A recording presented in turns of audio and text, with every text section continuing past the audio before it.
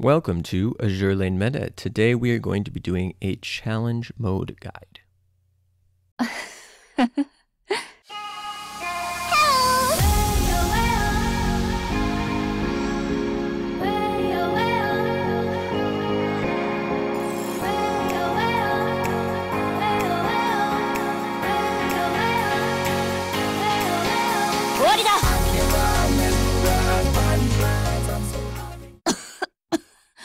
Welcome back, guys. Today we're going to be doing a challenge mode guide.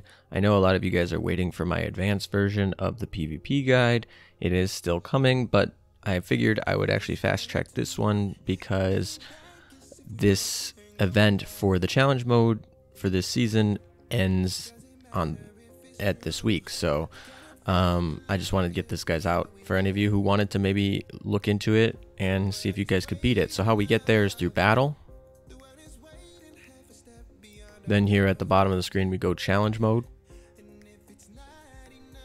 And we come to this challenge mode. Now there are two sections of challenge mode, normal and endless. You will not see this endless until you beat the normal mode.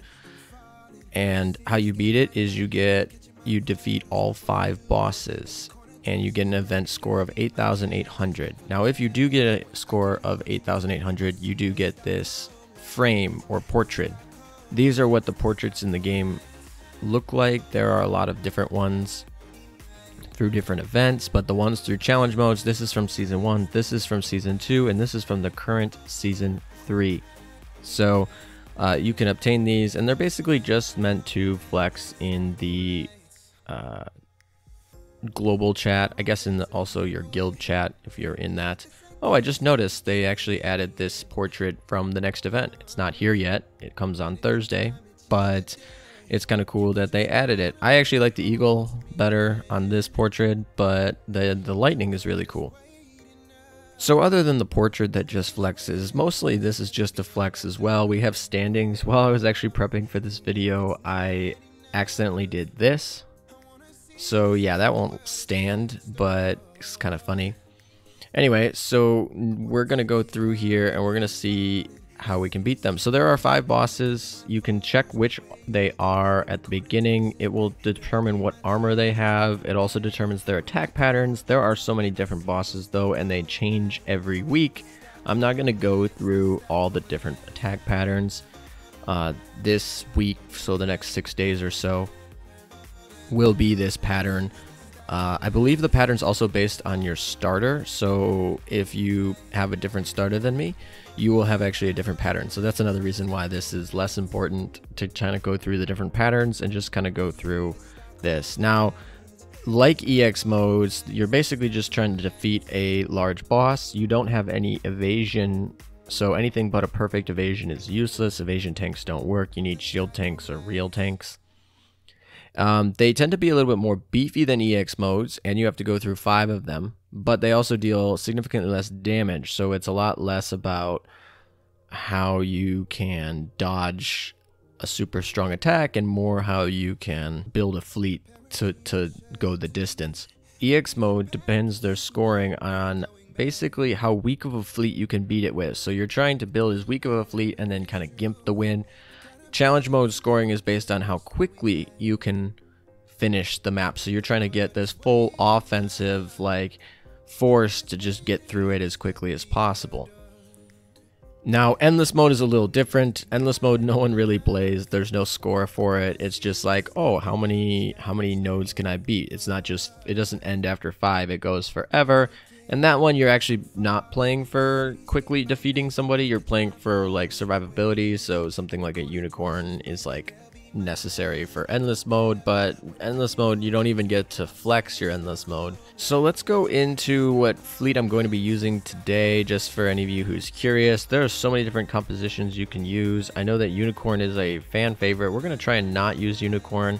I know there are other videos on out there that allow you to auto the uh, section. Now you won't be able to really get a high score when you're autoing, or at least you know a top high score. But uh, yeah, you can auto this with specific builds of ships as well. We're not going to be doing that today either. So for our backline, we're just going to go with our Namagi plus Warspite, and the reason is I just want to get it killed really quickly. Technically, I should be able to put a plane in here so I can clear some of the the shells or some of the attacks from the opponent because that's what airstrikes do. So a centaur or a unicorn would actually be really helpful in in this mode. I'm not going to be doing that today. If you are having problems trying to survive, you know, something like illustrious, um, unicorn, centaur, those are like very good aircraft or uh, carriers that can help you.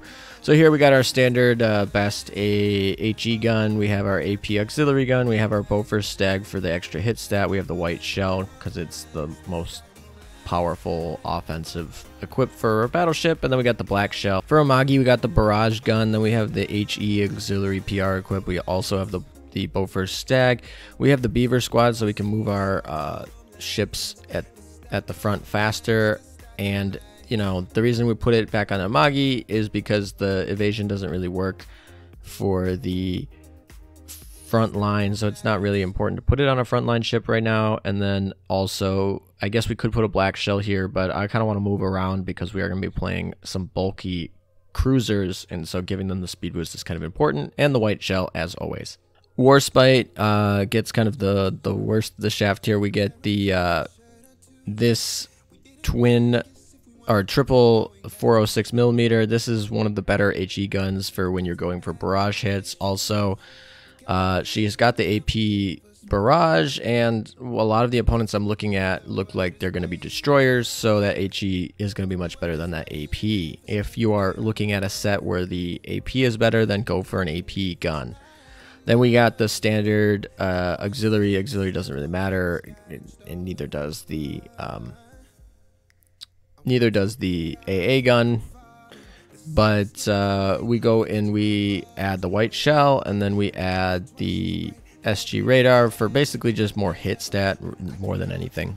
For our front line, we're going to be going with Zara again. Arun is not done, so this is the next best shield tank that we got. We run with our uh, PR gun for AP. It's just what we have for the the second gun, our auxiliary gun. We have the HE. This kind of gives us some mix. I did see an Amagi in that section, so she is medium armor, so the AP won't be completely dead.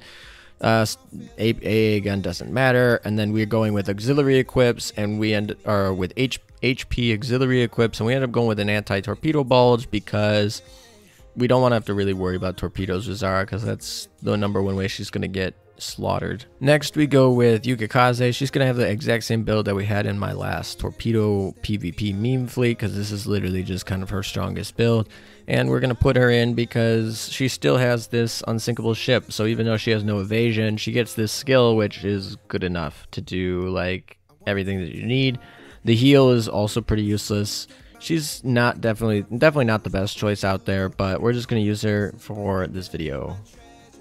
And while we are at it, we're going to use the Noshiro from last uh, time. We're switching out the Oxy Torpedo for a more kind of anti-torpedo bulge. Her skill's also like an anti-torpedo bulge. So basically we're trying to make it so that torpedoes aren't going to make a difference. We can focus on dodging some of the other stuff that aren't torpedoes. And uh, yeah, so that's what we have for our six ships. So challenge modes don't cost any oil, so feel free to try them as many times. If you are not seeing this battle button light up, just make sure you click this uh, refresh button. That will actually help you out. So let's begin. We got heal, we got hood, Amagi, uh, and Z23. Oh, Anami's not in here. I don't think. Javelin. Yeah, okay. So this shouldn't be too bad. Um, let's give it a go. So we and this is our fleet. Oh yeah, I forgot subs. The you can bring subs. Subs make a big difference in trying to just like completely strike early. My sub team is just the standard SR German subs. They're not leveled up yet uh, because I haven't been very diligent in leveling up my subs. They're actually pretty helpful for challenge modes. And uh, yeah, for their equips, they all have an Oxy Torpedo plus 10, and they have the the snorkel thing that gives them extra oxygen so they can stay in the battle longer. And that's pretty much what they all have. So, um, yeah, we got to level those up. But they're still better than nothing at where they're at. So here we go. Uh, and we're going to manually do this. This is the setup. Nagato in the middle, Zara in the front, Noshiro in the back, Yuki in the middle. Yuki will be the last one alive, although I uh, hopefully don't have any of my ships die throughout this whole section. I forgot to mention earlier that uh, there are Meowfficers that you can add to your fleet. They do matter. So these are the Meowfficers that I used for that clear, just so you guys are aware. So ironically enough, despite mentioning submarines in that last, right before I went into these battles, I forgot to use them the whole time. So this whole run of the challenge mode, I didn't use any submarines. And I got to the end, I was like, huh, I thought I was actually doing well, but why is my score so low? And uh, that's because I didn't use any submarines. Submarines are not necessary to complete it, as this will prove. I completed this with all six ships alive at the end, but they are necessary to rank for top end scoring because everyone uses subs, and so if you're not using subs, you're just playing at a disadvantage. I was gonna initially gonna strike this totally, but I figured some of you might be interested in watching this, you know, without any subs. So I sped it up at four times speed to not waste so much of your time. You guys can see me just run through this, and we'll go through the actual run right when this is done, because, yeah, you know, we want to actually see what the highest score run looks like and uh, I think in the rest of the video, I'm actually going to refer to torpedoes a lot. And I'm actually referring to submarines. For some reason, I just kept calling them torpedoes. Mostly because they probably just, all they deal damages in torpedoes. But I don't know. So if I continue to reference torpedoes for the rest of the video, it I, mean, I actually mean submarines. And yeah, I was I don't know what was going on. I was being very silly. So this was the the run, and we'll actually have the the full run after this. So stay tuned for that, and I'll commentate for that.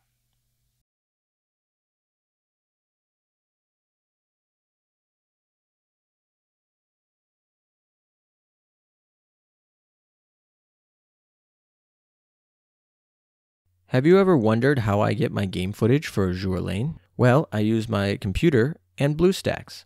BlueStacks is a Android emulator for PC, and it allows you to play mobile games like Azur Lane on your computer. If you're interested in an Android emulator, there are referral download links in the description under affiliates. You do have this share function, which basically just shows, oh look, you completed it, and this is the, the team you used. And I just realized that I did this without any torpedoes. So that was the whole EX mode without torpedoes. Should probably go and redo this with torpedoes. What do you guys think? Yeah, let's go redo it with torpedoes. I want to actually get a higher score. So this is what I mean. So you reset like this, you just reset, and then you, you start the battle over again. And this time we're going to actually use torpedoes because I completely forgot to use my torpedoes. So this should be even easier. So that was with no torpedoes. We'll do it with torpedoes.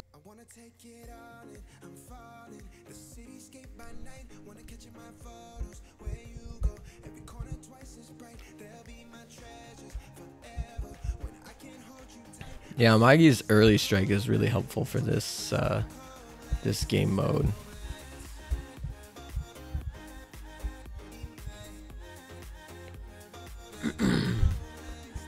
All right.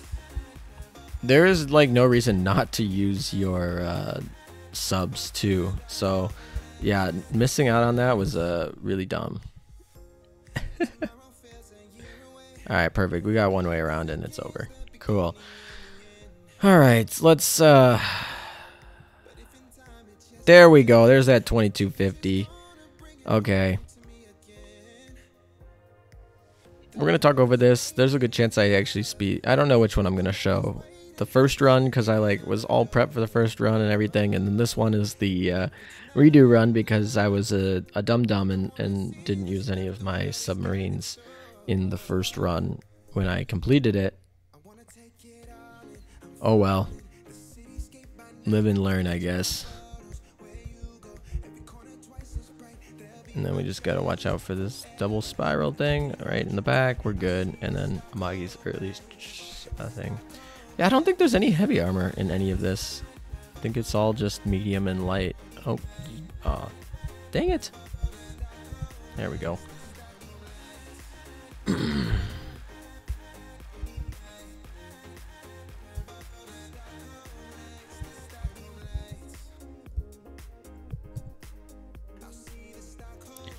And that should just about do it.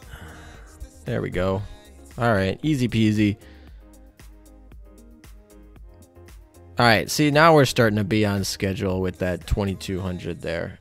So I was like, why am I? I thought I was doing well last time, but I was like, nope, not that well.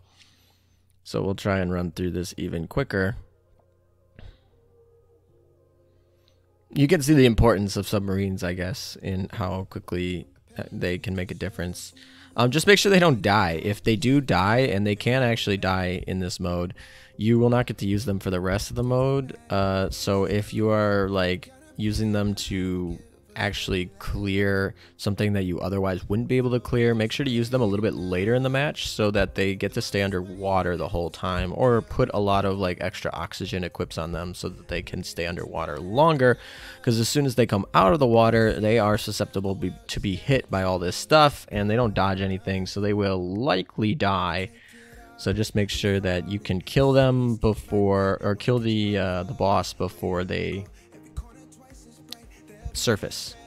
And if you can't, uh, just make sure you use them only on the last one, I guess. Or just, yeah. Yeah, see, there we go. Sitting over the 2200s all the time. Well, we got two more. We got Amagi. She should get destroyed by this uh, torpedo. Subs are so interesting because it's like, oh, we're going to fire a whole screen full of torpedoes. And there's like nothing they can do. I don't know. I'm so glad that they're not added to PvP. That would just, I don't even know how that would even function if they were added to PvP.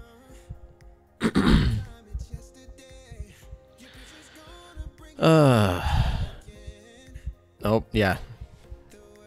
I should have learned last time. You gotta stay in the middle, not get punished. Here we go. We did it this time.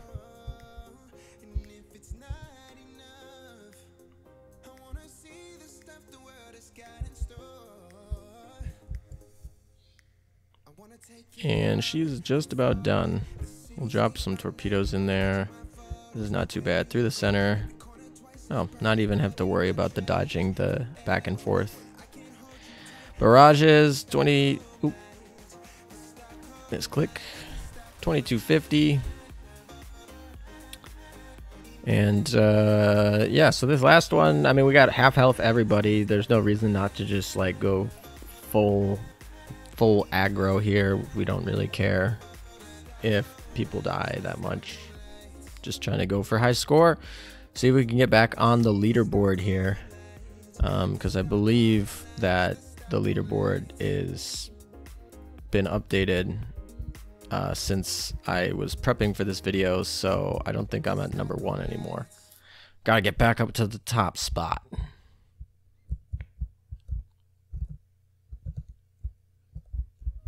That shield is so nice. Zara's shield is so nice. I mean, it's not as nice as Roon's, but it's it's good enough. And that should do it. There we go. Alrighty. there we go. Yeah, see? There we go. We're in the 11s for total points earned, so that's pretty nice.